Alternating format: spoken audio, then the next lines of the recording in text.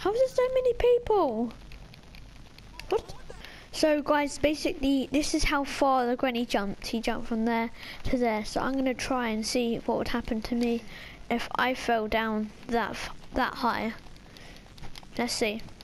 So she jumped right down from here.